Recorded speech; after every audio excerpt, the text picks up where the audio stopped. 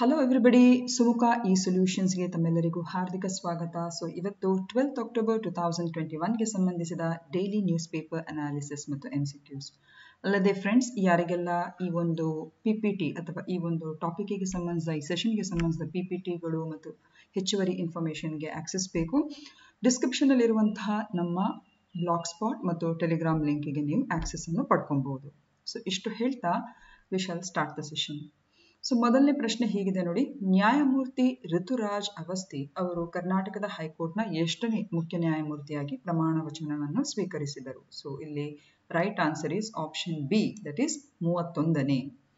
So ನ್ಯೂಸಲ್ಲಿ ನಾವೆಲ್ಲ ಕೇಳಿದ್ದೇವೆ. ಏನಂತ ಹೇಳಿದರೆ, ಋತುರಾಜ್ ಅವಸ್ಥಿ ಇವರು ನಮ್ಮ ಕರ್ನಾಟಕ ರಾಜ್ಯದ ಹೈಕೋರ್ಟ್ನ ಮುಖ್ಯ ನ್ಯಾಯಾಧೀಶರಾಗಿ, ಮೂವತ್ತೊಂದನೇ ಮುಖ್ಯ ನ್ಯಾಯಾಧೀಶರಾಗಿ ಇವರು ಅಧಿಕಾರವನ್ನು ಸ್ವೀಕರಿಸಿದರು. ಹಾಗೂ ಇವರಿಗೆ ರಾಜಭವನದಲ್ಲಿ ನಮ್ಮ ರಾಜ್ಯಪಾಲರಾದ ತಾವರ್ಚಂದ್ ಗೆಹ್ಲೋಟ್ ಇವರು ಪ್ರಮಾಣ ವಚನವನ್ನು ಬೋಧಿಸಿದರು. ಸೊ, ಇಲ್ಲಿ ಕಾನ್ಸ್ಟಿಟ್ಯೂಷನ್ನ ಆರ್ಟಿಕಲ್ ನೂರ ಇಪ್ಪತ್ನಾಲ್ಕು ಎರಡು, ಇದು ಸುಪ್ರೀಂ ಕೋರ್ಟ್ನ ನ್ಯಾಯಾಧೀಶರನ್ನು ರಾಷ್ಟ್ರಪತಿಯವರು ನೇಮಕ ಮಾಡುವ ಬಗ್ಗೆ ಇದು ಸೂಚಿಸಿರುತ್ತದೆ ಅದೇ ರೀತಿ ಆರ್ಟಿಕಲ್ ಇನ್ನೂರ ಹದಿನೇಳು ಎಂಬುದು ಹೈಕೋರ್ಟ್ನ ನ್ಯಾಯಾಧೀಶರ ನೇಮಕಾತಿ ಮತ್ತು ಷರತ್ತುಗಳಿಗೆ ಸಂಬಂಧಿಸಿದಾಗೆ ಈ, ಇದು ಒಳಗೊಂಡಿರ್ತದೆ. ಈಗ ಯಾರ್ಯಾರಿಗೆ ಯಾರು ಪ್ರಮಾಣ ವಚನವನ್ನು ಬೋಧಿಸುವ ಬಗ್ಗೆ ಒಂದು ಸಣ್ಣ ಪಕ್ಷ, ಒಂದು ಸಣ್ಣ ಇನ್ಫಾರ್ಮೇಶನ್ ಸೊ ನಮ್ಮ ದೇಶದ ರಾಷ್ಟ್ರಪತಿಯವರಿಗೆ ಸಂಬಂಧಿಸಿದಾಗೆ ಪ್ರಮಾಣ ವಚನವನ್ನು ಬೋಧಿಸುವವರು ನಮ್ಮ ದೇಶದ ಸುಪ್ರೀಂ ಕೋರ್ಟ್ನ ಮುಖ್ಯ ನ್ಯಾಯಾಧೀಶರು. ಇಲ್ಲಿ ನಾವು ನೋಡ್ಬೋದು, ಸೊ, ಭಾರತದ ರಾಷ್ಟ್ರಪತಿ ಅಂತ ಹೇಳುವಾಗ ಅವರಿಗೆ ಓತನ್ನು ಅಥವಾ ಪ್ರಮಾಣ ವಚನವನ್ನು ಬೋಧಿಸುವವರು ನಮ್ಮ ಭಾರತದ ಮುಖ್ಯ ನ್ಯಾಯಾಧೀಶರ ಮುಖ್ಯ ನ್ಯಾಯಾಧೀಶರಾಗಿರ್ತಾರೆ ಸುಪ್ರೀಂ ಕೋರ್ಟ್ ಇದು. ಹಾಗೂ ಅವರ ಅನುಪಸ್ಥಿತಿಯಲ್ಲಿ ಸುಪ್ರೀಂ ಕೋರ್ಟ್ನ ಹಿರಿಯ ನ್ಯಾಯಾಧೀಶರು. ಈಗ ಭಾರತದ ಉಪರಾಷ್ಟ್ರಪತಿ, ಕೇಂದ್ರ ಸಚಿವರು, ಸುಪ್ರೀಂ ಕೋರ್ಟ್ನ ಮುಖ್ಯ ನ್ಯಾಯಾಧೀಶರು ಸೇರಿದಂತೆ ಸುಪ್ರೀಂ ಕೋರ್ಟ್ನ ನ್ಯಾಯಮೂರ್ತಿಗಳಿಗೆ ಯಾರು ಓತನ್ನು ಅಡ್ಮಿನಿಸ್ಟರ್ ಮಾಡ್ತಾರೆ ಅಂತ ಹೇಳಿದ್ರೆ ರಾಷ್ಟ್ರಪತಿಯವರು ಅಥವಾ ಅವರ ಪರವಾಗಿ ನೇಮಕಗೊಂಡಂತಹ ವ್ಯಕ್ತಿ. ಅದೇ ರೀತಿ ರಾಜ್ಯಗಳ ರಾಜ್ಯಪಾಲರಿಗೆ ಓತ್ ಅಡ್ಮಿನಿಸ್ಟ್ರೇಷನ್ ಅಥವಾ ಪ್ರಮಾಣ ಬೋಧ ಪ್ರಮಾಣ ವಚನವನ್ನು ಬೋಧಿಸುವವರು ಹೈಕೋರ್ಟ್ನ ಮುಖ್ಯ ನ್ಯಾಯಾಧೀಶರು ಅಥವಾ ಅವರ ಅನುಪಸ್ಥಿತಿಯಲ್ಲಿ ಹೈಕೋರ್ಟ್ನ ಹಿರಿಯ ನ್ಯಾಯಾಧೀಶರು. ಅದೇ ರೀತಿ ರಾಜ್ಯದ ಮಂತ್ರಿಗಳು ಹಾಗೂ ಹೈಕೋರ್ಟ್ನ ಮುಖ್ಯ ನ್ಯಾಯಮೂರ್ತಿ ಸೇರಿದಂತೆ ಹೈಕೋರ್ಟ್ನ ನ್ಯಾಯಾಧೀಶರಿಗೆ ರಾಜ್ಯಪಾಲರು ಅಥವಾ ಅವರ ಪರವಾಗಿ ನೇಮಕಗೊಂಡಂತಹ ವ್ಯಕ್ತಿಗಳು. ಸೊ ಇದಿಷ್ಟು ಒಂದು ಸಣ್ಣ information related to oath administration ಈಗ ಎರಡನೇ ಪ್ರಶ್ನೆ ಹೀಗಿದೆ. ಯಾವ ಕ್ಷೇತ್ರದ ಸಂಶೋಧನೆಗಾಗಿ ಅರ್ಥಶಾಸ್ತ್ರ ವಿಭಾಗದ ಎರಡ್ ಸಾವಿರದ ಇಪ್ಪತ್ತೊಂದನೇ ಸಾಲಿನ ನೊಬೆಲ್ ಪ್ರಶಸ್ತಿ ನೀಡಲಾಗಿದೆ. ಸೊ ಯಾವ ಫೀಲ್ಡ್ಗೆ ಸಂಬಂಧಿಸಿದಾಗೆ two thousand twenty one Nobel prize for economics has been awarded so here the right answer is option C ಕಾರ್ಮಿಕ ಅರ್ಥಶಾಸ್ತ್ರ ಅಥವಾ ಲೇಬರ್ ಎಕನಾಮಿಕ್ಸ್ ಸೊ ಅದನ್ನು ನಾವಿಲ್ಲಿ ನೋಡ್ಬೋದು. ಅಮೆರಿಕದ ಮೂಲದ ಆರ್ಥಿಕ ತಜ್ಞರಾದ David Card Joshua D Angrist ಹಾಗೂ ಗೈಡೋ ಡಬ್ಲ್ಯೂ ಇಬೆನ್ಸ್ ಇವರಿಗೆ ಅರ್ಥಶಾಸ್ತ್ರ ವಿಭಾಗದಲ್ಲಿ ಎರಡ್ ಸಾವಿರದ ಇಪ್ಪತ್ತೊಂದನೇ ಸಾಲಿನ ನೊಬೆಲ್ ಪ್ರಶಸ್ತಿ ಲಭಿಸ್, ಲಭಿಸಿದೆ. ಹಾಗೂ ಇವರ ಸಂಶೋಧನೆಯ ಒಂದು ಕ್ಷೇತ್ರ ಏನು ಅಂತ ಹೇಳಿದ್ರೆ ಶಿಕ್ಷಣ ಮತ್ತು ಭವಿಷ್ಯದ ಗಳಿಕೆ ಕನಿಷ್ಠ ವೇತನ ಮತ್ತು ಉದ್ಯೋಗದ ನಡುವಿನ ಸಂಬಂಧದ ಒಂದು ಒಳನೋಟವನ್ನು ಇದು ಒದಗಿಸಿದೆ. So basically their research work has given insights on the relationship between education and future earnings and the minim and between the minimum wages and the employment so basically the whole research or the whole theme conveys around the labour economics or ಕಾರ್ಮಿಕ ಅರ್ಥಶಾಸ್ತ್ರದ ವ್ಯಾಪ್ತಿಗೆ ಬರುವಂತ ಇದೊಂದು ಸಂಶೋಧನೆ ಅಂತ ನಾವು ಹೇಳ್ಬೋದು. ಮೂರನೇ ಪ್ರಶ್ನೆ ಆಸ್ಟ್ರಿಯಾದ ಹೊಸ ಚಾನ್ಸಲರ್ ಆಗಿ ಯಾರು ಪ್ರಮಾಣ ವಚನವನ್ನು ಸ್ವೀಕರಿಸಿದ್ದಾರೆ? So here the rise right answer is Alexander Schallenberg so Alexander Schallenberg ಇವರು ಆಸ್ಟ್ರಿಯಲ್ ಆಸ್ಟ್ರಿಯಾದ ಹೊಸ ಚಾನ್ಸಲರ್ ಆಗಿ ಇವರು ನೇಮಕಗೊಂಡಿದ್ದಾರೆ. ಹಾಗೂ ಇವರು ಆಸ್ಟ್ರಿಯಾದ ಗಣರಾಜ್ಯದ ಮುಖ್ಯಸ್ಥರಾಗಿರ್ತಾರೆ. ಸೊ ಬೇಸಿಕಲಿ ಚಾನ್ಸಲರ್ ಅಂತ ಹೇಳಿದ್ರೆ ಕೆಲವರಿಗೆ ಕನ್ಫ್ಯೂಸ್ ಆಗ್ಬೋದು. ಏನಿದು ಚಾನ್ಸಲರ್ ಅಂತ? ಹೆಚ್ಚಾಗಿ ಭಾರತ ದೇಶದಲ್ಲಿ ನಾವು ಚಾನ್ಸಲರ್ ಅಂತ ಪದವನ್ನು ನಾವು ಯೂನಿವರ್ಸಿಟಿಗಳಲ್ಲಿ ಎಲ್ಲ ಬಳಸ್ತೇವೆ. ಉಪ ಚಾನ್ಸಲರ್ ಅಥವಾ ಕುಲಪತಿಗಳು ಆ ಒಂದು ಇದರಲ್ಲಿ ಉಪಕುಲಪತಿ, ಕುಲಪತಿ ಅಂತ ಹೇಳಿ ಹಾಗೆ ಹೇಳ್ತೇವೆ. ಈಗ ಚಾನ್ಸಲರ್ ಆಫ್ ದ ಯೂನಿವರ್ಸಿಟಿ ಅಂತ ಹೇಳಿದ್ರೆ ಭಾರತದಲ್ಲಿ ಅದು ನಮ್ಮ ರಾಷ್ಟ್ರಪತಿ ಸಾರಿ ರಾಜ್ಯಪಾಲರಾಗಿರ್ತಾರೆ. ಆದರೆ ಆಸ್ಟ್ರಿಯಾದಲ್ಲಿ ಚಾನ್ಸಲರ್ ಅಂತ ಹೇಳಿದ್ರೆ ಈ ಸ್ಥಾನವು ಹಲವಾರು ಇತರ ಸಂಸದೀಯ ಪ್ರಜಾಪ್ರಭುತ್ವಗಳಲ್ಲಿ ಪ್ರಧಾನಮಂತ್ರಿಯ ಪ್ರಧಾನಮಂತ್ರಿಗಳ ಸ್ಥಾನಕ್ಕೆ ಇದು ಅನುರೂಪವಾಗಿದೆ. So basically it equates the position with the prime minister of any other countries ಈಗ ಮೂರ್ ನಾಲ್ಕನೇ ಪ್ರಶ್ನೆ. ಅಂತಾರಾಷ್ಟ್ರೀಯ ಇಂಧನ ಏಜೆನ್ಸಿಯ ಮುಖ್ಯ ಕಚೇರಿ ಎಲ್ಲಿದೆ? So here the right answer is option C that is Paris so ಇದು ಪ್ಯಾರಿಸ್ನಲ್ಲಿ ಇರುವಂಥದ್ದು. Headquarters of international energy agency is located in Paris so ಇತ್ತೀಚೆಗೆ ನಾವು ನ್ಯೂಸಲ್ಲಿ ನೋಡಿರ್ಬೋದು ಇಂಟರ್ನ್ಯಾಷನಲ್ ಎನರ್ಜಿ ಏಜೆನ್ಸಿ ಏನಿದೆ? ಇದು ಭಾರತವನ್ನು ಪೂರ್ತಿ ಪ್ರಮಾಣದ ಸದಸ್ಯರಾಗುವುದಕ್ಕೆ ಅದೊಂದು ಆಹ್ವಾನವನ್ನು ಕೊಟ್ಟಿದೆ. ಸೊ, ಇಲ್ಲಿ ತನಕ ಭಾರತ ಏನಾಗಿತ್ತು, ಅದು ಒಂದು ಕೇವಲ ಸಹ ಸದಸ್ಯನ ರೂಪದಲ್ಲಿ ಈ ಒಂದು ಏಜೆನ್ಸಿ, ಅಂದ್ರೆ ಅಂತಾರಾಷ್ಟ್ರೀಯ ಈ ಒಂದು ಶಕ್ತಿ ಸಂಸ್ಥೆಯ ಒಂದು ಸಹ ಸದಸ್ಯತನವನ್ನು ಮಾತ್ರ ಪಡ್ಕೊಂಡಿತ್ತು. ಎರಡ್ ಸಾವಿರದ ಹದಿನೇಳರಲ್ಲಿ ಇದು ಸೇರ್ಪಡೆಗೊಂಡಾದಾಗ ಇದು ಪೂರ್ಣ ಪ್ರಮಾಣದ ಸದಸ್ಯತ್ವವನ್ನು ಪಡ್ಕೊಂಡಿಲ್ಲ but it was only associ it became an associate member of the agency so basically ಈ ಒಂದು ಐ ಎ ಬಗ್ಗೆ ನಾವು ತಿಳ್ಕೊಳ್ಳುವಂಥ ಪ್ರಯತ್ನ ಮಾಡುವ ಇಂಟರ್ನ್ಯಾಷನಲ್ ಎನರ್ಜಿ ಏಜೆನ್ಸಿ ಇದು ಯಾವುದೇ ಸಂದರ್ಭದಲ್ಲೂ ಕೂಡ ವಿಶ್ವಸಂಸ್ಥೆಯ ಅಂಗಸಂಸ್ಥೆ ಅಲ್ಲ. ಕೆಲವು ಸ್ಟೂಡೆಂಟ್ಸ್ಗಳು ಇದನ್ನು ಆ ರೀತಿಯಾಗಿ ಕನ್ಫ್ಯೂಸ್ ಮಾಡ್ತಾರೆ. So please be clear so ಅಂತಾರಾಷ್ಟ್ರೀಯ ಇಂಧನ ಸಂಸ್ಥೆ ಅಂತ ಹೇಳುವಂಥದ್ದು, ಇದು ಸಾವಿರದ ಒಂಬೈನೂರ ಎಪ್ಪತ್ತ ಮೂರರ ಒಂದು ತೈಲ ಬಿಕ್ಕಟ್ಟಿನ ಹಿನ್ನೆಲೆಯಲ್ಲಿ ತೈಲ ಪೂರೈಕೆಯ ಸುರಕ್ಷತೆಯನ್ನು ಖಚಿತಪಡಿಸಿಕೊಳ್ಳಿಕ್ಕೆ ಇದು ಸಾವಿರದ ಒಂಬೈನೂರ ಎಪ್ಪತ್ತ ನಾಲ್ಕರಲ್ಲಿ ರಚಿಸಲಾದಂಥ ಒಂದು ಸ್ವಾಯತ್ತ ಅಂತರ್ ಸರ್ಕಾರಿ ಸಂಸ್ಥೆಯಾಗಿದೆ. It is basically an autonomous intergovernmental organization that was created in 1974 to ensure the security of oil supplies in the wake of the 1973 oil crisis ಹಾಗಿದ್ರ ಉದ್ದೇಶ ಏನು? ಇದರ ಸಂಸ್ಥೆಯ ಮುಖ್ಯ ಉದ್ದೇಶ ಇಷ್ಟೇ ಎಲ್ಲರಿಗೂ ಸುರಕ್ಷಿತ ಮತ್ತು ಸುಸ್ಥಿರ ಇಂಧನ ಭವಿಷ್ಯವನ್ನು ರೂಪಿಸಲು ಸರ್ಕಾರಗಳು, ದೇಶಗಳು ಮತ್ತು ಉದ್ಯಮಗಳೊಂದಿಗೆ ಒಂದು ನಿಕಟ ರೂಪದಲ್ಲಿ ಈ ಒಂದು ಸಂಸ್ಥೆಯು ಕೆಲಸ ಮಾಡ್ತದೆ. ಹಾಗೂ ಇದರ ಕೇಂದ್ರ ಕಚೇರಿ ಇರುವಂಥದ್ದು ಪ್ಯಾರಿಸ್, ಫ್ರಾನ್ಸ್ನಲ್ಲಿ. ಈಗ ಭಾರತ ನಾನು ಆಗ್ಲೇ ಹೇಳಿದಾಗೆ ಸದ್ಯಕ್ಕೆ ಅದು ಒಂದು ಸಹ ಸದಸ್ಯ ರೂಪದಲ್ಲಿ ಇದರ ಒಂದು ಮೆಂಬರ್ಶಿಪ್ ಅನ್ನು ಪಡ್ಕೊಂಡ್ಬಿಟ್ಟಿದೆ. ಐ ಎ ಒಂದು ಮೆಂಬರ್ಶಿಪ್ ಅನ್ನು ಪಡ್ಕೊಂಡ್ಬಿಟ್ಟಿದೆ. ಈಗ ಅಂತಾರಾಷ್ಟ್ರೀಯ ಈ ಒಂದು ಇಂಧನ ಸಂಸ್ಥೆ ಏನಿದೆ, ಇದರಲ್ಲಿ ಮೂವತ್ತು ಸದಸ್ಯ ರಾಷ್ಟ್ರಗಳಿವೆ. ಎಂಟು ಅದರಲ್ಲಿ ಸಹ ರಾಷ್ಟ್ರಗಳು ಸೇರ್ಪಡೆಯಾಗಿವೆ. ಎಂಟು ಅಂತ ಹೇಳಿದ್ರೆ ಅದರಲ್ಲಿ ಭಾರತ ಕೂಡ ಒಂದು. ನಾಲ್ಕು ಸೇರ್ಪಡೆಗೊಳ್ಳುವಂತಹ ಒಂದು ರಾಷ್ಟ್ರಗಳ ಪಟ್ಟಿಯಲ್ಲಿರಿದೆ, ಅಂದ್ರೆ four countries are seeking accession to full membership ಅದರಲ್ಲಿ ಚೈಲ್ ಕೊಲಂಬಿಯಾ, ಇಸ್ರೇಲ್ ಮತ್ತು ಲಿಥೇನಿಯಾ ಬರ್ತದೆ. ಈಗ ಭಾರತದ ಒಂದು ಇಂಧನ ಒಂದು ವ್ಯವಸ್ಥೆಯ ಒಂದು ಹಿನ್ನೆಲೆಯನ್ನು ಗಮನಿಸಿ. ಈ ಇಂಟರ್ನ್ಯಾಷನಲ್ ಎನರ್ಜಿ ಏಜೆನ್ಸಿ ಏನ್ ಮಾಡಿದೆ ಅಂತ ಹೇಳಿದ್ರೆ, ಭಾರತಕ್ಕೆ ಅಸೋಸಿಯೇಟೆಡ್ ಮೆಂಬರ್ ಅಸೋಸಿಯೇಟ್ ಮೆಂಬರ್ ಆಗುವ, ಆಗುವುದಕ್ಕಿಂತ ನೀವು ಪೂರ್ಣ ಪ್ರಮಾಣದಲ್ಲೇ ಸದಸ್ಯತ್ವವನ್ನು ಪಡ್ಕೊಳ್ಳಿ ಅಂತ ಹೇಳಿ ಒಂದು ಆಹ್ವಾನವನ್ನು ಕೊಟ್ಟಿದೆ. ಈಗ, ಈ ಒಂದು ಪೂರ್ತಿ ಪ್ರಮಾಣದ ಒಂದು ಸದಸ್ಯತ್ವ ಪಡ್ಕೊಬೇಕು ಅಂತ ಹೇಳಿದ್ರೆ ಕೆಲವೆಲ್ಲ ಒಂದು ಮಾನದಂಡಗಳಿರಬೇಕು. ಸೊ ಒಂದು ದೇಶವು ಈ ಅಂತಾರಾಷ್ಟ್ರೀಯ ಇಂಧನ ಸಂಸ್ಥೆಯ ಅಥವಾ ಏಜೆನ್ಸಿಯ ಪೂರ್ಣ ಪ್ರಮಾಣದ ಸದಸ್ಯನಾಗಲು ಒಂದು ಪ್ರಮುಖ ಮಾನದಂಡವೆಂದರೆ ಅದು ಕಚ್ಚಾ ತೈಲ ಮತ, ಮತ್ತು ಅಥವಾ ಹಿಂದಿನ ವರ್ಷದ ನಿವ್ವಳ ಆಮದುಗಳ ತೊಂಬತ್ತು ದಿನಗಳಿಗೆ ಸಮಾನಾದ ಉತ್ಪನ್ನ ಮೀಸಲುಗಳನ್ನು ಅದು ಹೊಂದಿರಬೇಕು. ಮತ್ತು ಜಾಗತಿಕ ತೈಲ ಪೂರೈಕೆಯಲ್ಲಿನ ಅಡೆತಡೆಗಳನ್ನು ಪರಿಹರಿಸಲು ಅದಕ್ಕೆ ತಕ್ಷಣವಾದಂತಹ ಒಂದು ವ್ಯವಸ್ಥೆ ಅಥವಾ ಅದು ಪ್ರವೇಶವನ್ನು ಹೊಂದಿರಬೇಕು. ಸೊ ಆ ಒಂದು ರೀತಿಯ ಬ್ಯಾಕಪ್ ಇದ್ರೆ ಆಗ ಅಂತಹ ರಾಷ್ಟ್ರಗಳು ಈ ಇಂಟರ್ನ್ಯಾಷನಲ್ ಎನರ್ಜಿ ಏಜೆನ್ಸಿಯ ಒಂದು ಪೂರ್ತಿ ಪ್ರಮಾಣದ ಒಂದು ಸದಸ್ಯತ್ವವನ್ನು ಪಡ್ಕೊಳ್ಳಿಕ್ಕಿರುವಂತಹ ಒಂದು ಪ್ರಮುಖ ಮಾನದಂಡ. ಸೊ ಭಾರತ ಇವಾಗ ಆ ಒಂದು ಮಾನದಂಡಕ್ಕೆ ಅನುಸಾರವಾಗಿ ಪೂರ್ಣ ಪ್ರಮಾಣದಲ್ಲಿ ಸದಸ್ಯತ್ವವನ್ನು ಪಡ್ಕೊಳ್ಳಿಕ್ಕೆ ಅದು ಖಂಡಿತವಾಗಿ ಅದಕ್ಕೆ ಒಂದು ಎಲಿಜಿಬಿಲಿಟಿ ಇದೆ. ಈಗ ಇಂಟರ್ನ್ಯಾಷನಲ್ ಎನರ್ಜಿ ಏಜೆನ್ಸಿ ಅಂತ ಹೇಳುವಂತ ಈ ಸಂಸ್ಥೆ ಇದೆಯಲ್ಲ ಇದು ಹಲವಾರು ಒಂದು ವರದಿಗಳನ್ನು, ವಾರ್ಷಿಕ ವರದಿಗಳನ್ನು ಅದು ಪ್ರಕಟ ಮಾಡ್ತದೆ. For instance world energy invest investment report ವಿಶ್ವ ಇಂಧನ ಹೂಡಿಕೆ ವರದಿ ಇರ್ಬೋದು ವರ್ಲ್ಡ್ ಎನರ್ಜಿ ಔಟ್ಲುಕ್ ರಿಪೋರ್ಟ್ ಅಂತ ಹೇಳುವಂಥದ್ದು ಗ್ಲೋಬಲ್ ಎನರ್ಜಿ ರಿವ್ಯೂ ಅಂತ ಹೇಳುವಂಥದ್ದು. ಸೊ ಹೀಗೆ ನಾನಾ ರೀತಿಯ ವರದಿಗಳನ್ನು ಕೂಡ ಈ ಒಂದು ಸಂಸ್ಥೆ ಹೊರತರ್ತದೆ.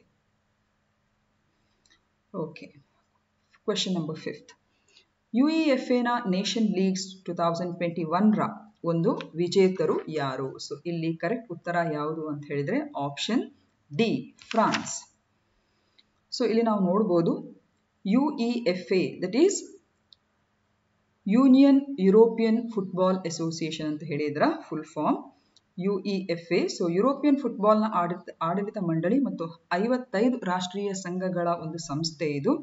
ಹಾಗೂ ಇದು U E F A nations league ಕ್ರೀಡೆಯ ಯುರೋಪಿಯನ್ ಆಡಳಿತ ಮಂಡಳ, ಮಂಡಳಿಯ ಒಂದು ಯು ಇ ಎಫ್ ಎ ಸದಸ್ಯರ ಸಂಘಗಳ ಒಂದು ಹಿರಿಯ ಪುರುಷರ ರಾಷ್ಟ್ರೀಯ ತಂಡಗಳಿಂದ ಸ್ಪರ್ಧಿಸಲ್ಪಡುವಂತಹ ಒಂದು ದ್ವೈವಾರ್ಷಿಕ ಅಂತಾರಾಷ್ಟ್ರೀಯ ಫುಟ್ಬಾಲ್ ಸ್ಪರ್ಧೆಯಾಗಿದೆ ಸೊ ಎರಡ್ ಸಾವಿರದ ಹದಿನೆಂಟರ ಫಿಫಾ ವಿಶ್ವಕಪ್ ನಂತರ ಸೆಪ್ಟೆಂಬರ್ ಎರಡ್ ಸಾವಿರದ ಹದಿನೆಂಟರಲ್ಲಿ ಮೊದಲ ಪಂದ್ಯಾವಳಿಯು ಆರಂಭವಾಯಿತು ಸೊ ಇದು this is about France football team ಒಂದ್ two thousand twenty 2021 UEFA nations league defeating Spain.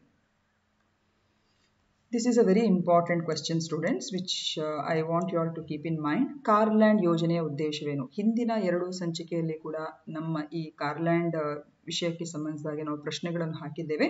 ಆದರೆ ಇದು ರಿಪೀಟೆಡ್ ಕ್ವೆಶ್ಚನ್ ಅಲ್ಲ. ಇದರಲ್ಲಿ ಹೆಚ್ಚುವರಿಯಾದ ಅಂದರೆ ಯಾವ್ಯಾವ ತಾಲೂಕುಗಳು ಇದರಲ್ಲಿ ಸೇರ್ಪಡೆಗೊಂಡಿವೆ? ಯಾವ ಜಿಲ್ಲೆಗೆ ಇದು ಈಗ ಪ್ರಮುಖ ಫೇಸ್ನಲ್ಲಿ ಇದನ್ನು ಇದು ಅಂದರೆ ಇದನ್ನು ಇಂಪ್ಲಿಮೆಂಟ್ ಮಾಡ್ತಾ ಇದ್ದಾರೆ? ಸೊ ಆ ವಿಷಯದ ಬಗ್ಗೆ ಈ ಒಂದು ಹೆಚ್ಚುವರಿ ಕ್ವೆಶ್ಚನ್ ಅನ್ನು ನಾವು ಹಾಕೊಂಡಿದ್ದೇವೆ. ಸೊ ಕಾರ್ಲ್ಯಾಂಡ್ ಯೋಜನೆಯ ಉದ್ದೇಶ ಅಂತ ಹೇಳಿದ್ರೆ ಇದು ಕರ್ನಾಟಕದ ಕರಾವಳಿ ಪ್ರದೇಶಗಳಲ್ಲಿ ತಡೆಗೋಡೆ ನಿರ್ಮಾಣಕ್ಕೆ ಸಂಬಂಧಿಸಿದ ಒಂದು ಯೋಜನೆಯಾಗಿದೆ. ಸೊ ಇಲ್ಲಿ ನಾವು ನೋಡ್ಬೋದು, ಕಾರ್ಲ್ಯಾಂಡ್ ಯೋಜನೆ, ಇದು ಉತ್ತರ ಕನ್ನಡ ಜಿಲ್ಲೆಯ ಕರಾವಳಿ ಪ್ರದೇಶದಲ್ಲಿ ನದಿಗಳು ಸಮುದ್ರ ಸೇರುವ ಜಾಗದಲ್ಲಿ ತಡೆಗೋಡೆ ನಿರ್ಮಿಸುವ ನಿರ್ಮಿಸಲು ರೂಪಾಯಿ ಒಂದು ಸಾವಿರ ಐನೂರು ಕೋಟಿಯ ಒಂದು ಯೋಜನೆಯಡಿಯಲ್ಲಿ ತಡೆಗೋಡೆ ನಿರ್ಮಿಸಲಿಕ್ಕೆ ಇರುವಂತಹ ಒಂದು ಯೋಜನೆ ಇದು. ಮುಖ್ಯವಾಗಿ ಸಮುದ್ರದ ನೀರು ನದಿಗೆ ನುಗ್ಗಿ ಅದು ಉಪ್ಪಾಗುವುದನ್ನು ಈ ಮೂಲಕ ತಡೆಯಲಾಗ್ತದೆ. ಹಾಗೂ ಸಂಗ್ರಹವಾಗುವಂತಹ ಸಿಹಿ ನೀರನ್ನು ಕೃಷಿ, ಸಿಗಡಿ ಸಾಕಾಣಿಕೆ ಮತ್ತು ಕುಡಿಯುವ ನೀರಿನ ಉದ್ದೇಶಕ್ಕೆ ಇದನ್ನು ಬಳಸುವಂತ ಒಂದು ಉದ್ದೇಶವನ್ನು ಅವರು ಹೊಂದಿದ್ದಾರೆ. ಸೊ ಮುಖ್ಯವಾಗಿ ಇದೀಗ ಯಾವ ಜಿಲ್ಲೆಗೆ ಸಂಬಂಧಿಸಿದು ಉತ್ತರ ಕನ್ನಡ ಜಿಲ್ಲೆ. ಉತ್ತರ ಕನ್ನಡ ಜಿಲ್ಲೆಯಲ್ಲೂ ಕೂಡ ಸರಿಸುಮಾರು ಐದು ತಾಲೂಕುಗಳನ್ನು ಅವರು ಗುರುತಿಸಿಕೊಂಡಿದ್ದಾರೆ. ಅಂದ್ರೆ ಮೊದಲ ಹಂತದಲ್ಲಿ ಈ ಕಾರ್ಲ್ಯಾಂಡ್ ಯೋಜನೆಯು ಎಲ್ಲೆಲ್ಲೆಲ್ಲ ಇಂಪ್ಲಿಮೆಂಟ್ ಆಗ್ಲಿಕ್ಕಿದೆ ಎಂಬುದು ಕೂಡ ನಮಗೆ ಗೊತ್ತಿರಬೇಕು. ಸೊ ಕರ್ನಾಟಕ ಸರ್ಕಾರದ ಇದೊಂದು ಬಹಳಷ್ಟು ಮಹತ್ವಾಕಾಂಕ್ಷೆಯ ಒಂದು ಯೋಜನೆಯಾಗಿದೆ. ಹಾಗೂ ಈ ಒಂದು ಕೃಷಿ ಚಟುವಟಿಕೆಗಾಗಿ ಸುಮಾರು ಇಪ್ಪತ್ತೊಂದು ಸಾವಿರ ಎಕರೆ ಫಲವತ್ತಾದ ಭೂಮಿಯನ್ನು ಮರಳಿ ಪಡೆಯುವಂತ ಗುರಿಯನ್ನು ಕೂಡ ಹೊಂದಿದೆ. ಸೊ ಕಾರ್ಲ್ಯಾಂಡ್ಸ್ ಹೆಚ್ಚಾಗಿ ಅಳಿವೆಗಳ ತೀರದಲ್ಲಿ ಅಥವಾ ಸಮುದ್ರದ ಬಳಿ ಇರುವಂತಹ ಕೃಷಿ ಭೂಮಿಯಾಗಿದ್ದು, ಪ್ರವಾಹದಿಂದಾಗಿ ಇದು ಉಪ್ಪಿನ ಭೂಮಿಯಾಗಿ ಮಾರ್ಪಾಡಾಗಿದೆ. ಸೊ ಹಾಗಾಗಿ ಈ ರೀತಿಯ ತಡೆಗೋಡೆವನ್ನು, ತಡೆಗೋಡೆ ಕಟ್ಟುವ ನಿಮಿತ್ತ ಈ ರೀತಿ ಉಪ್ಪು ನೀರಿನ ಮಿಶ್ರಣ ಹೆಚ್ಚಿನ ಪ್ರಮಾಣದಲ್ಲಿ ಆಗದೆ ಈ ಒಂದು ಆಲ್ರೆಡಿ ಉಪ್ಪಾಗಿರುವಂತಹ ಈ ಭೂಮಿಯನ್ನು ಇನ್ನೂ ಫಲವತ್ತತೆಯತ್ತ ಕೊಂಡೊಯ್ಯುವಂತ ಒಂದು ಉದ್ದೇಶವನ್ನು ಕೂಡ ಇವರು ಹೊಂದಿದ್ದಾರೆ. ಸೊ ಜಸ್ಟ್ ಇಮ್ಯಾಜಿನ್ ಇಪ್ಪತ್ತೊಂದು ಸಾವಿರ ಎಕರೆ ಫಲವತ್ತಾದ ಭೂಮಿಯನ್ನು ಈ ಒಂದು ಉಪ್ಪಿ ನೀರಿನ ಹಾವಳಿಯಿಂದ ಮರಳಿ ಪಡೆಯುವಂತಹ ಒಂದು ವ್ಯವಸ್ಥೆಯನ್ನು ಕೂಡ ಇವರು ಹೊಂದಿದ್ದಾರೆ. ಈಗ ಪ್ರಮುಖವಾಗಿ ದಿಸ್ ಇಸ್ ವೆರಿ ಇಂಪಾರ್ಟೆಂಟ್ ಅದು ನಮ್ಮ ಕರ್ನಾಟಕ ರಾಜ್ಯಕ್ಕೆ ಸಂಬಂಧಿಸಿದ ಒಂದು ವಿಶಿಷ್ಟ ಯೋಜನೆ ಆಗಿರುವ ಕಾರಣ ಇದು ಯಾವ್ಯಾವ ತಾಲೂಕುಗಳಿಗೆ ಇಂಪ್ಲಿಮೆಂಟ್ ಆಗ್ತಾ ಇದೆ ಅಂತ ಮೊದಲನೇ ಹಂತದಲ್ಲೂ ಕೂಡ ನಾವು ತಿಳ್ಕೊಂಡಿರಬೇಕು. ಸೊ ಕಾರವಾರ ಇದೆಲ್ಲ ಉತ್ತರ ಕನ್ನಡ ಜಿಲ್ಲೆಯ ತಾಲೂಕುಗಳು. ಕಾರವಾರ ಅಂಕೋಲ ಕುಮಟಾ ಹೊನ್ನಾವರ ಮತ್ತು ಭಟ್ಕಳ. ಸೊ ಈ ಐದು ತಾಲೂಕುಗಳಲ್ಲಿ total salt water exclusion dams be constructed at total cost of rupees three hundred crores so total ಆಗಿ ನಾನು ಹೇಳಿದಾಗೆ ಸಾವಿರದ ಐನೂರು ಕೋಟಿ ರೂಪಾಯಿ ಯೋಜನೆ ಇದು. ಹೌದಾ ಅಲ್ವಾ? ಸೊ ಐದಕ್ಕೆ ಮುನ್ನೂರು ಮುನ್ನೂರು ಕೋಟಿ ರೂಪಾಯಿ ಅಂತ ಹೇಳುವಾಗ total it becomes thousand five hundred so ಆ ರೀತಿಯಾಗಿ ಕೂಡ ನೆನಪಿಡುವಂತ ಪ್ರಯತ್ನ ಮಾಡಿ. ಸೊ ಟೋಟಲ್ ಆಗಿ ಐದು ತಾಲೂಕುಗಳಿಗೆ ಪ್ರತಿಯೊಂದು ಆ ತಾಲೂಕಿನಲ್ಲಿ ಹಮ್ಮಿಕೊಳ್ಳುವಂಥ ಈ ಕಾರ್ಲ್ಯಾಂಡ್ ಯೋಜನೆಗೆ ಮುನ್ನೂರು ಕೋಟಿ ರೂಪಾಯಿ ವೆಚ್ಚದಲ್ಲಿ ಸೊ ಒಟ್ಟಾರೆಯಾಗಿ ಇದು ಸಾವಿರದ ಐನೂರು ಕೋಟಿ ರೂಪಾಯಿ ವೆಚ್ಚದಲ್ಲಿ ಈ ಯೋಜನೆಯನ್ನು ಹಮ್ಮಿಕೊಳ್ಳಿಕ್ಕಿದ್ದಾರೆ. ಈಗ ಥಾಮಸ್ ಕಪ್ ಯಾವ ಕ್ರೀಡೆಗೆ ಇದು ಸಂಬಂಧಿಸಿರುವಂಥದ್ದು so here the right answer is option D that is ಇದು ಬ್ಯಾಡ್ಮಿಂಟನ್ ಕ್ರೀಡೆಗೆ ಸಂಬಂಧಿಸಿರುವಂಥದ್ದು ದಿಸ್ ಇಸ್ ಅನದರ್ ಇಂಪಾರ್ಟೆಂಟ್ ಕ್ವೆಶ್ಚನ್ ರಾಷ್ಟ್ರೀಯ ಮಾನವ ಹಕ್ಕುಗಳ ಆಯೋಗವನ್ನು ಆಯೋಗವನ್ನು ಯಾವಾಗ ಸ್ಥಾಪಿಸಲಾಯಿತು? ಸೊ ಇಲ್ಲಿ ನಾವು ನೋಡ್ಬೋದು twelfth October nineteen ninety three so ರಾಷ್ಟ್ರೀಯ ಮಾನವ ಹಕ್ಕುಗಳ ಆಯೋಗವನ್ನು ಯಾವಾಗ ಸ್ಥಾಪಿಸಲಾಯಿತು ಅಂತ ಹೇಳಿದ್ರೆ, ಹನ್ನೆರಡನೇ ಅಕ್ಟೋಬರ್ ಸಾವಿರದ ಒಂಬೈನೂರ ತೊಂಬತ್ತ ಮೂರರಲ್ಲಿ ಇದನ್ನು ಸ್ಥಾಪಿಸಲಾಯಿತು. ಸೊ ಈ ವಿಷಯ ಯಾಕೆ ಬಂತು ಅಂತ ಹೇಳಿದ್ರೆ ನಮ್ಮ ದೇಶದ ಪ್ರಧಾನಮಂತ್ರಿಯವರು ಇಪ್ಪತ್ತೆಂಟನೇ ರಾಷ್ಟ್ರೀಯ ಮಾನವ ಹಕ್ಕುಗಳ ಆಯೋಗದ ಒಂದು ಸ್ಥಾಪಕ ದಿನಾಚರಣೆಯ ಕಾರ್ಯಕ್ರಮದಲ್ಲಿ ಅವರು ವಿಡಿಯೋ ಕಾನ್ಫರೆನ್ಸಿಂಗ್ ಮೂಲಕ ಪಾಲ್ಗೊಂಡಿದ್ದಾರೆ ಅಂತ ಹೇಳಿ ನಮ್ಮ ಪ್ರೆಸ್ ಇನ್ಫಾರ್ಮೇಶನ್ ಬ್ಯೂರೋ ಅವರ ಪ್ರಕಟಣೆಯಲ್ಲಿ ಅವರು ರಿಲೀಸ್ ಮಾಡಿದ್ದಾರೆ, ಮಾಹಿತಿಯನ್ನು ರಿಲೀಸ್ ಮಾಡಿದ್ದಾರೆ. So basically N H R C ಅಂದ್ರೆ ಏನು? ಸೊ ರಾಷ್ಟ್ರೀಯ ಮಾನವ ಹಕ್ಕುಗಳ ಆಯೋಗ ಇದು. ಇದೊಂದು ಹನ್ನೆರಡನೇ ಅಕ್ಟೋಬರ್ ಸಾವಿರದ ಒಂಬೈನೂರ ತೊಂಬತ್ಮೂರರಲ್ಲಿ ಸ್ಥಾಪಿಸಲಾದಂತಹ ಒಂದು ಸ್ವತಂತ್ರ ಶಾಸನಬದ್ಧ ಸಂಸ್ಥೆಯಾಗಿದೆ. ಹಾಗಿದ್ದರ ಕೇಂದ್ರ ಕಚೇರಿ ನವದೆಹಲಿಯಲ್ಲಿರುವಂಥದ್ದು ಹಾಗೂ ಪ್ರತಿ ರಾಜ್ಯಗಳಲ್ಲೂ ಕೂಡ ರಾಜ್ಯ ಮಾನವ ಹಕ್ಕುಗಳ ಆಯೋಗವು ಕೂಡ ಸ್ಥಾಪಿತಗೊಂಡಿದೆ. ಸೊ ಪ್ರಮುಖವಾಗಿ ಇದು ಜಾಗತಿಕವಾಗಿ ಮಾನವ ಹಕ್ಕುಗಳ ಪ್ರಚಾರ ಮತ್ತು ರಕ್ಷಣೆಗಾಗಿ ಅಳವಡಿಸಿಕೊಂಡಿರುವಂತಹ ಪ್ಯಾರಿಸ್ ತತ್ವಗಳು ಅಥವಾ ಪ್ಯಾರಿಸ್ ಪ್ರಿನ್ಸಿಪಲ್ನ ಮೂಲಕ ಅಥವಾ ತತ್ವಗಳಿಂದ ಈ ಒಂದು ಈ ಆಯೋಗವನ್ನು ಅವರು ಅಡಾಪ್ಷನ್ ಆಗಿ ಮಾಡಲಿ, ಮಾಡಿದ್ದಾರೆ. ಈಗ ಇಲ್ಲಿ ವೆರಿ ಇಂಪಾರ್ಟೆಂಟ್ ಪ್ರಧಾನಮಂತ್ರಿ ನೇತೃತ್ವದ ಉನ್ನ, ಉನ್ನತಾಧಿಕಾರ, ಉನ್ನತಾಧಿಕಾರದ ಸಮಿತಿಯ ಶಿಫಾರಸಿನ ಮೇರೆಗೆ ರಾಷ್ಟ್ರಪತಿಗಳು ರಾಷ್ಟ್ರೀಯ ಮಾನವ ಹಕ್ಕುಗಳ ಆಯೋಗದ ಅಧ್ಯಕ್ಷರು ಮತ್ತು ಸದಸ್ಯರನ್ನು ನೇಮಿಸ್ತಾರೆ. ಹಾಗೂ ಈ ಎನ್ ಎಚ್ ಆರ್ ಸಿಯ ಅಧ್ಯಕ್ಷರು ಮತ್ತು ಸದಸ್ಯರನ್ನು ಐದು ವರ್ಷದವರೆಗೆ, ಐದು ವರ್ಷಗಳವರೆಗೆ ಅಥವಾ ಎಪ್ಪತ್ತು ವರ್ಷ ವಯಸ್ಸಿನವರೆಗೆ ಯಾವುದು ಮೊದಲು ಆ ಪ್ರಕಾರದನ್ನು ನೇಮಕ ಮಾಡ್ತಾರೆ. ಹಾಗೂ ರಾಜ್ಯ ಮಾನವ ಹಕ್ಕುಗಳ ಆಯೋಗದ ಅಧ್ಯಕ್ಷರು ಮತ್ತು ಸದಸ್ಯರನ್ನು ರಾಜ್ಯಪಾಲರು ನೇಮಕ ಮಾಡ್ತಾರೆ. ಅವರು ಮುಖ್ಯಮಂತ್ರಿ, ಗೃಹ ಸಚಿವರು, ವಿಧಾನಸಭಾ ಸ್ಪೀಕರ್ ಮತ್ತು ರಾಜ್ಯ ವಿಧಾನಸಭೆಯ ವಿರೋಧ ಪಕ್ಷದ ನಾಯಕರೊಂದಿಗೆ ಸಮಾಲೋಚಿಸಿ ಆ ನಂತರ ನೇಮಕ ಮಾಡ್ತಾರೆ. ಸೊ, ಇದು ಎನ್ ಎಚ್ ಆರ್ ಸಿ ಅಂದರೆ ನ್ಯಾಷನಲ್ ಹ್ಯೂಮನ್ ರೈಟ್ಸ್ ಕಮಿಷನ್ನ ಮೊದಲನೇ ಅಧ್ಯಕ್ಷರು ಜಸ್ಟಿಸ್ ಶ್ರೀ ರಂಗನಾಥ್ ಮಿಶ್ರಾ ಅವರಾಗಿದ್ದರು ಅದೇ ರೀತಿ ಈಗ ಪ್ರಸಕ್ತವಾಗಿರುವಂಥ ಎನ್ ಎಚ್ ಆರ್ ಸಿಯ ಪ್ರಸಕ್ತ ಅಧ್ಯಕ್ಷರು ಶ್ರೀ ಜಸ್ಟಿಸ್ ಅರುಣ್ ಕುಮಾರ್ ಮಿಶ್ರಾ ಅವರಾಗಿರ್ತಾರೆ. ಸೊ, ಮಿಶ್ರಾ ಮಿಶ್ರಾ ಅಂತ ಈಗ ಸದ್ಯಕ್ಕೆ ಈಗ ನೆನ್ಪಿಟ್ಕೊಳ್ಳಿ. ಬಟ್ ಇವೆಲ್ಲ ಇನ್ಫಾರ್ಮೇಷನ್ ಅದು ನಾನ್ ಸ್ಟ್ಯಾಟಿಕ್ ಇನ್ಫಾರ್ಮೇಷನ್ ಅಂದರೆ ಕಾಲದಿಂದ ಕಾಲಕ್ಕೆ ಅದು ಬದಲಾಗ್ತಾ ಹೋಗ್ತದೆ. ಆದರೆ ಫಸ್ಟ್ ಚೇರ್ಮನ್ ಅಂತ ಹೇಳುವಂಥದ್ದು this is again a static information ಅದೇ ರೀತಿ ಕರ್ನಾಟಕ ರಾಜ್ಯದ ಮಾನವ ಹಕ್ಕುಗಳ ಆಯೋಗದ ಪ್ರಥಮ ಅಧ್ಯಕ್ಷರು ಯಾರು ಅಂತ ಹೇಳಿದ್ರೆ ಜಸ್ಟಿಸ್ ಎಸ್ ಆರ್ ನಾಯಕ್. ಹಾಗೂ ಕರ್ನಾಟಕ ರಾಜ್ಯದ ಮಾನವ ಹಕ್ಕು, ಹಕ್ಕುಗಳ ಆಯೋಗದ ಪ್ರಸಕ್ತ ಅಧ್ಯಕ್ಷರು ಜಸ್ಟಿಸ್ ದಿರೇಂದ್ರ ಹೆಚ್ ವಾಗೇಲಾ ಈಗ ಎಂಟನೇ ಪ್ರಶ್ನೆ. Which public ent sector enterprise is the latest to be accorded the Maharatna status so ಯಾವ ಪಬ್ಲಿಕ್ ಸೆಕ್ಟರ್ ಎಂಟರ್ಪ್ರೈಸ್ಗೆ ಇತ್ತೀಚೆಗೆ ಮಹಾರತ್ನ ಸ್ಟೇಟಸ್ ಲಭಿಸಿದೆ ಅಂತ ಹೇಳಿದರೆ the right answer is P F C so ಏನಿದು ಪಿ ಎಫ್ ಸಿ ಅಂತ ಹೇಳಿದರೆ? ಪಿ ಎಫ್ ಸಿ ಅಂತ ಹೇಳಿದರೆ ಪವರ್ ಫೈನಾನ್ಸ್ ಕಾರ್ಪೊರೇಷನ್ ಲಿಮಿಟೆಡ್ ಅಂತ ಅರ್ಥ. ಸೊ ಸರ್ಕಾರಿ ಭಾರತದ ಸೊ ಭಾರತ ಸರ್ಕಾರ ಸ್ವಾಮ್ಯದ ಪವರ್ ಫೈನಾನ್ಸ್ ಕಾರ್ಪೊರೇಷನ್ ಲಿಮಿಟೆಡ್ಗೆ ಮಹಾರತ್ನ ಸ್ಥಾನಮಾನವನ್ನು ನೀಡಿದೆ ಹಾಗೂ ಸಾವಿರದ ಒಂಬೈನೂರ ಎಂಬತ್ತಾರರಲ್ಲಿ ಸ್ಥಾಪಿತವಾದಂಥ ಈ ಒಂದು ಪವರ್ ಕಾರ್ಪೊರೇಷನ್ ಲಿಮಿಟೆಡ್ ಏನಿದೆ, ಇದು ಅತಿ ದೊಡ್ಡ ಮೂಲಸೌಕರ್ಯ ಹಣಕಾಸು ಕಂಪನಿಯಾಗಿದ್ದು, ವಿದ್ಯುತ್ ಸಚಿವಾಲಯದ ಆಡಳಿತ ನಿಯಂತ್ರಣದಲ್ಲಿದ್ದು, ವಿದ್ಯುತ್ ವಲಯಕ್ಕೆ ಪ್ರತ್ಯೇಕವಾಗಿ ಇದು ಮೀಸಲಾಗಿರ್ತದೆ. So this is also the information that is release by the press information bureau so ಇದಿಷ್ಟು ಇವತ್ತಿನ ವಿಚಾರಗಳು. ಸೊ ಹಾಗಾಗಿ ಎಲ್ಲ ಇದರಲ್ಲೂ ಕಾರ್ಲೆಂಡ್ ಪ್ರಾಜೆಕ್ಟ್ನ ಬಗ್ಗೆ ನೀವು ಸರಿಯಾಗಿ ಮಾಹಿತಿಯನ್ನು ತಿಳ್ಕೊಳ್ಳಿ ಹಾಗೂ ಇನ್ನಷ್ಟು ಎಲ್ಲ ಉಪಯುಕ್ತ ಮಾಹಿತಿಗಳನ್ನು ನಮ್ಮ ಟೀಮ್ಗಳು ಅಂದರೆ ದೃಢೀಕೃತವಾಗಿರುವಂಥ ಒಂದು ಮೂಲಗಳಿಂದ ಈ ಪ್ರಶ್ನೆಗಳನ್ನು ನಾವು ಸಿದ್ಧಪಡಿಸ್ತೇವೆ. ಸೊ ಹಾಗಾಗಿ ನಿಮ್ಮ ಫ್ರೆಂಡ್ಸ್ಗಳಿಗೂ ಸಹ ಹೇಳಿ ಯಾರೆಲ್ಲ ಇನ್ನೂ ಕೂಡ ಸಬ್ಸ್ಕ್ರಿಪ್ಷನ್ ತೆಗೆದುಕೊಳ್ಳಿಲ್ಲ, ಆದಷ್ಟು ಶೀಘ್ರವಾಗಿ ಸಬ್ಸ್ಕ್ರಿಪ್ ಸಬ್ಸ್ಕ್ರಿಪ್ಷನ್ ತೆಗೆದುಕೊಳ್ಳಿ ಅಂತ ಹೇಳ್ತಾ, ಹಾಗೂ ನಿಮ್ಮ ಒಂದು ರೀತಿಯ ಅನಿಸಿಕೆಗಳನ್ನು ಕೂಡ ನೀವು ಮುಕ್ತವಾಗಿ ಸಜೆಷನ್ ಬಾಕ್ಸಲ್ಲಿ ಅಥವಾ ಮೆಸೇಜ್ ಮೂಲಕ ಹಾಕ್ಬೋದು ಅಂತ ಹೇಳ್ತಾ I will end this session until then take care and see you see you tomorrow with much more see.